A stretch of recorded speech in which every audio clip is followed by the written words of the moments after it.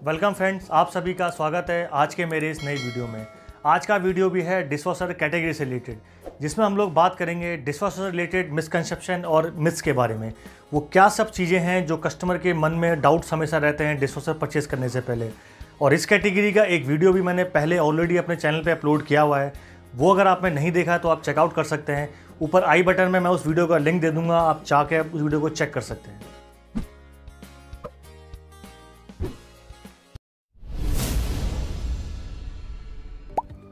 तो सबसे पहले बात करते हैं इसके मिथ नंबर वन की। आज भी कस्टमर्स को लगता है कि डिशवॉशर के अंदर हमें उतना इफ़ेक्टिव क्लीनिंग देखने को नहीं मिलेगा, जितना हम लोग नॉर्मल अपना हैंड वॉशिंग के थ्रू कर लेते हैं। सो ये वाला मिथ एकदम रॉन्ग है। डिशवॉशर के अंदर हमें दो पावरफुल स्प्रे आर्म देखने को मिलते हैं, जिन पावरफुल स्प्रे आर्म के थ्रू हमें हाई वाटर प्रेशर के थ्रू वाटर का रोटेशन मिलता है डिशवॉशर के अंदर। तो जो भी आपका हैवीली सॉइल डिसीज या बड़े से बड़ा बर्तन आपका डिशवॉशर में वॉश हो रहा है प्रॉपर तरीके से उसमें वॉशिंग मिलती है। And yes equally effective cleaning आपको देखने को मिलेगी जैसा आप अपने हैंड वॉशिंग के थ्रू आप अपने यूटेंसिल्स में लेते हैं। प्लस जितने भी आपके एक्सपेंसिव क्रॉकरी हैं एक्सपेंसिव वाइन ग्लासेस हैं, उनके डैमेज होने का चांसेस भी इसमें एकदम से ख़त्म हो जाता है और बहुत ज़्यादा हाइजेनिक रिजल्ट्स आपको इसके अंदर देखने को मिल जाते हैं। मिथ नंबर टू है कि डिशवॉशर के अंदर स्पेस नहीं होता है हमारे बेकवेयर यूटेंसिल्स के लिए लार्ज यूटेंसिल्स के लिए, कढ़ाई and cooker plus casserole dishes के लिए। सो so, ये मिथ भी एकदम रॉन्ग है। डिशवॉशर के अंदर हमें दो बास्केट देखने को मिलती है। जिन बास्केट के अंदर आप देखेंगे तो उसके फ्लेक्सिबल टीन्स देखने को मिलेंगे। तो जो भी उसके रैक्स वगैरह हैं वो इजीली फोल्ड हो जाते हैं।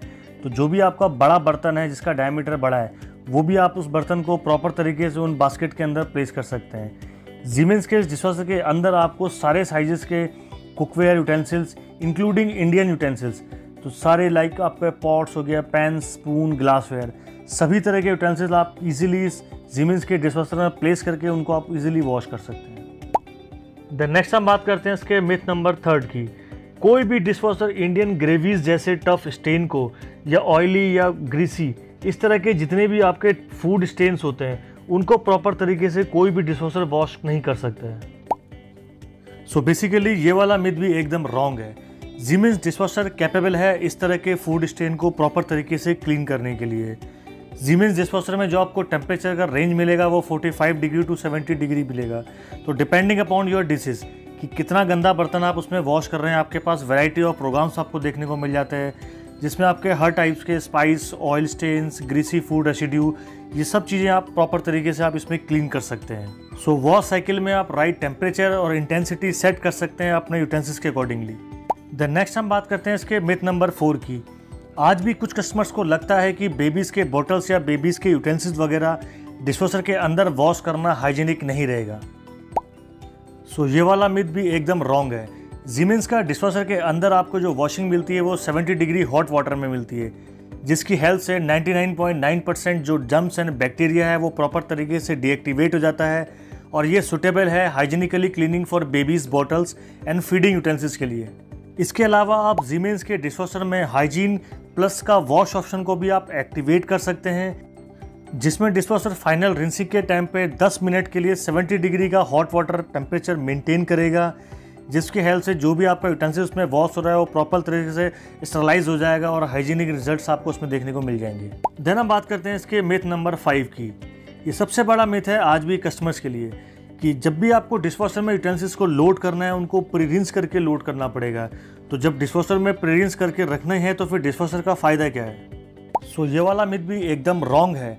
डिशवॉशर के अंदर जो भी आपने यूटेंसिल्स को रखना है, वो सिर्फ़ आपने उसमें से लेफ़्ट ओवर रिमूव करके रखना है। तो जो भी आपका फ़ूड बच गया है, वो आपको निकाल के आप उसको एज इट इज़ प्लेस कर देना है और मशीन को स्टार्ट कर देना है। बाकी जो सारा काम होगा, वो डिशवॉशर खुद करेगा।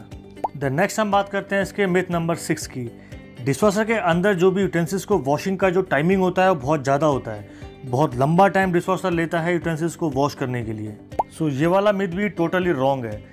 जीमेंस के डिस्पोजर के अंदर जो आपको वॉशिंग का टाइमिंग मिलता है, वो आधे घंटे से लेकर दो घंटे तक के बीच का मिलता है। Depending upon the wash cycle कि आप कौन सा वॉश साइकिल उसमें यूज़ कर रहे हैं। और इसी वॉश साइकिल के अंदर डिस्पोजर यूटेंसिल्स को वॉश भी करता है और प्लस उनको ड्राई भी करता है। एंड हार्डली टेन मिनट्स का टाइम आपको टोटल लगता है डिस्पोजर के अंदर अपने यूटेंसिल्स को लोड करने के लिए। इसके अलावा वेरियो स्पीड प्लस का जीमेंस के डिस्पोजर में आपको वॉश ऑप्शन देखने को मिल जाएगा, जिसमें जो डिशवॉशर का जो टाइमिंग है, वो 66 परसेंट तक कम हो जाता है। तो इसके हेल्प से ये इंडिया का सबसे फास्टर डिशवॉशर बन जाता है।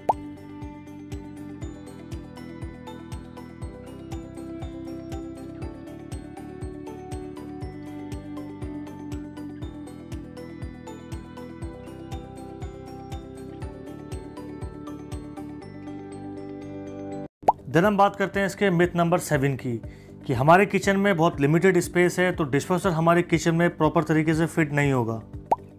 सो so, ये वाला मिथ भी एकदम रॉन्ग है। डिशवाशर किसी भी इंडियन किचन्स में इजीली फिट हो जाता है। इसका जो विर्थ होता है वो टोटल टू फीट का होता है यानी 60 सेंटीमीटर का इसका टोटल विर्थ होता है। सो so, ना ही आपको अपने सिंक के ऊपर बर्तनों को स्टैक करने का ज़रूरत है और ना ही आपको अपने हाथ गंदे करने का। सो जस्ट डिशवॉशर को किचन में इंस्टॉल कीजिए और उसको यूज़ कीजिए। द नेक्स्ट हम बात करते हैं इसके मिथ नंबर एट की कि डिशवॉशर बहुत ज़्यादा इलेक्ट्रिसिटी एंड बहुत ज़्यादा वाटर कंज्यूम करता है यूटेंसिल्स को वॉश करने के लिए। तो ये वाला मिथ भी एकदम रॉन्ग है। जीमिन्स के डिशवॉशर हाईली एनर्जी एफिशिएंट होते हैं। अप्रॉक्सीमेटली वन किलो वाट पर आर का एनर्जी कंजम्पशन इनका होता है हर वॉशिंग में। तो डिशवॉशर का जो टोटल वाटर कंजम्पशन होता है, वो 10 टू 12 लीटर का होता है। तो अप्रॉक्सीमेटली 90 परसेंट वाटर सेव कर सकते हैं आप मैनुअल हैंड वॉशिंग के कंपेरेटिवली द नेक्स्ट हम बात करते हैं इसके मिथ नंबर नाइन के बारे में। अगर डिशवॉशर मेरा वर्क कर रहा है और बीच में अगर पावर चला जाता है तो क्या मुझे सारे ट्रेंसेस को दोबारा से अनलोड करके उसको दोबारा रीलोड करना पड़ेगा? जी नहीं। जीमेंस के इस डिशवॉशर के अंदर आपको मेमोरी पावर बैकअप का फीचर मिलता है। तो जहाँ पे आपका प्रोग्राम स्टॉप होता है, जैसे ही आपका इलेक्ट्रिसिटी वापस आता है तो डिशवॉशर का जो प्रोग्रामिंग है, वहीं से रिज्यूम हो जाता है। द नेक्स्ट हम बात करते हैं इसके मिथ नंबर टेन के बारे में।